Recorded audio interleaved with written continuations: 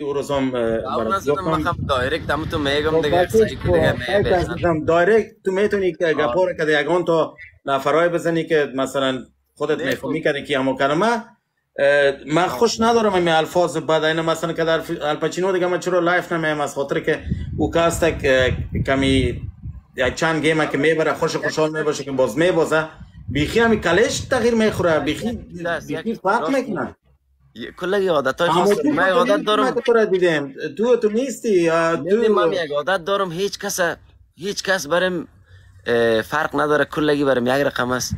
با رفتارم با کلگی یک رقم است دادر. مثلا من فکر کنم که اینا بیجان ربخان است.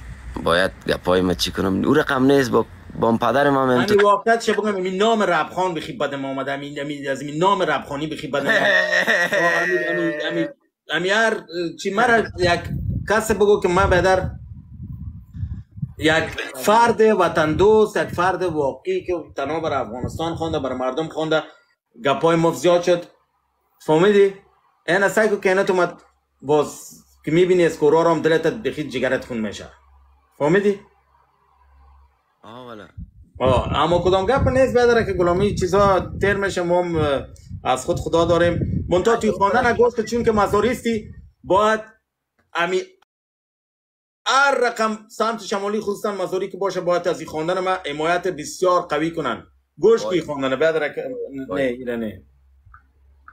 ای خواندن بان امور بان چی بود؟ چفرم بود؟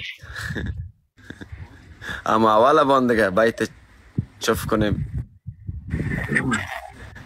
نه ما تو چف نمی‌کنم. ما یک خواندن که دیگه برات میمونم که خواندن خوبه. C'est un peu 账